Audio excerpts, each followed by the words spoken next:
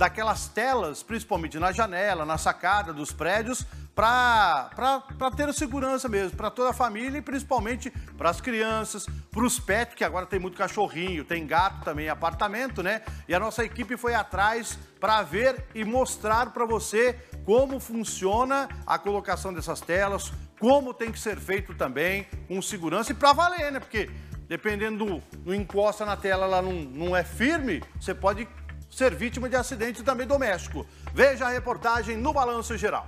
Uma criança de 9 anos caiu do segundo andar de um prédio em Nova Esperança. O menino sofreu apenas fraturas nos pés. Ele foi socorrido pelo helicóptero do SAMU e encaminhado para a Santa Casa de Maringá. O garoto passa bem. Mas é por conta de acidentes como esse que a contratação para a instalação de telas vem crescendo. As pessoas elas têm procurado mais, elas têm se conscientizado mais a respeito da segurança que a tela traz para o apartamento. Né? Durante esses últimos três anos, a gente pôde ver um aumento considerável assim, das, da procura das redes né, em apartamentos. A segurança não é só para os adultos e principalmente as crianças, mas também para os bichinhos.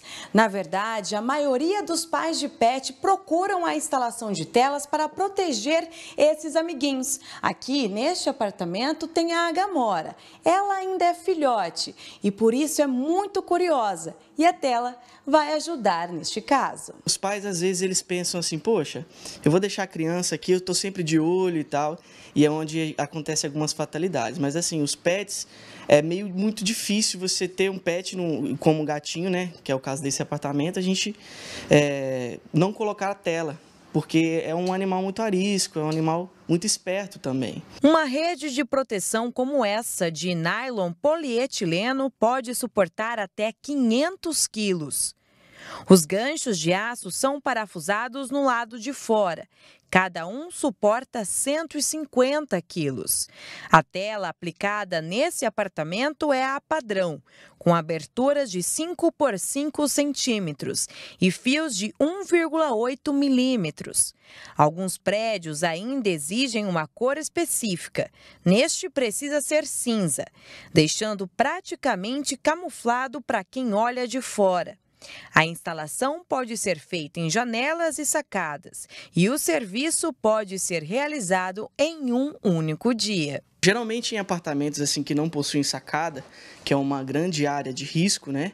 É, o, as instalações elas são feitas de maneira mais rápidas, né? Em torno de 30, 40 minutos em quatro janelas aí.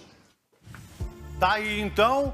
É importante a colocação dessas telas. Quem mora em apartamento sabe que a, a, mas aí a pessoa deve falar assim, salsicha, só mora eu, por exemplo, mora eu e minha esposa. Tá ok.